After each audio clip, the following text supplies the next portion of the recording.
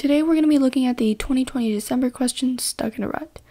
So in this question, we have a 2D grid or a farm, and we have a bunch of cows who are going to be moving either to the right or up. Uh, what ends up happening is when cows move, they leave a path of eaten grass, and other cows who reach that eaten grass are forced to stop.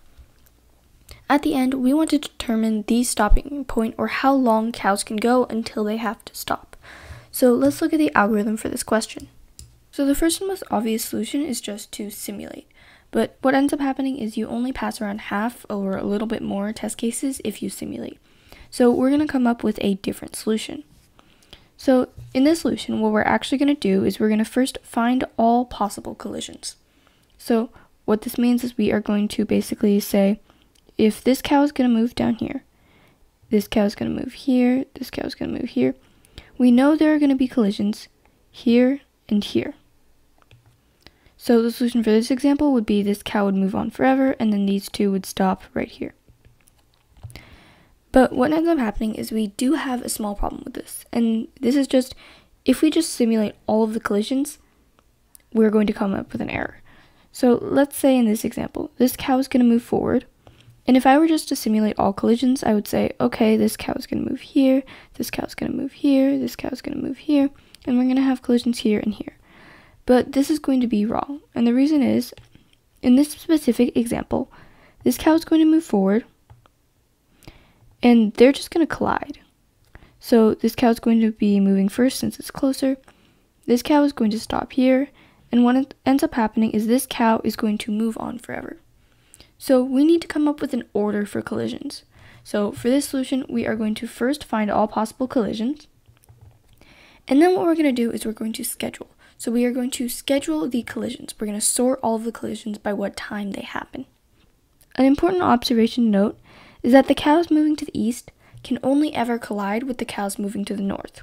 So this cow and this cow are able to collide, but if I have two cows both moving towards the east, there is no way they are going to collide. That is never going to happen. So we're going to use that in our program later on. So we're going to find all possible collisions, and then we are going to simulate. So I'm going to say, okay, I have all of these possible collisions.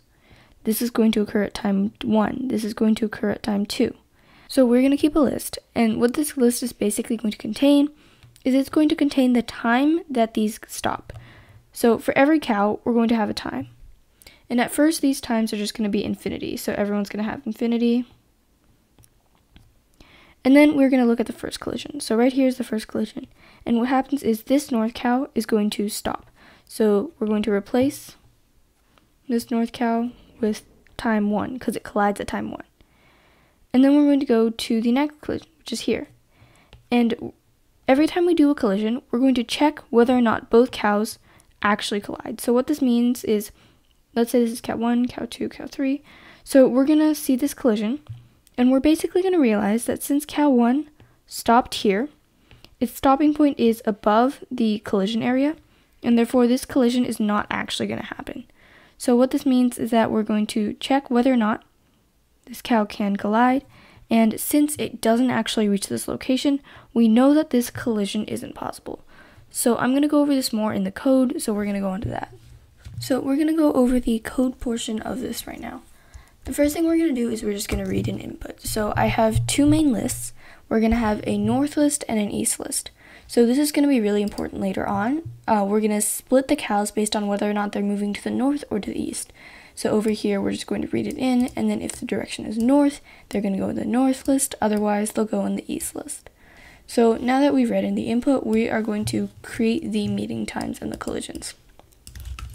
So again, I mentioned earlier that it's really important that only north cows are going to intersect with east cows.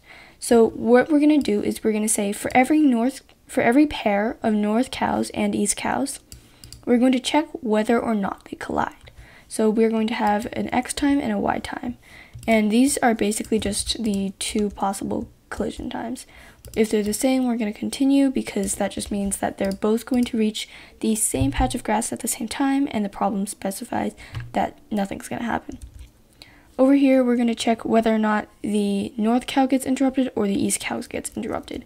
So for both of these cases, since they're bound to collide, we're going to push them in the meet time. At the end, we are going to sort the meet time, and this is just going to give us the sorted array for part two. So the next thing we're going to do is we are going to move on to part two, and we are going to check all of the collisions. This is the harder part of the program. So we are going to create our answer set. Again, this is going to be the list of all of the times that the cows stop.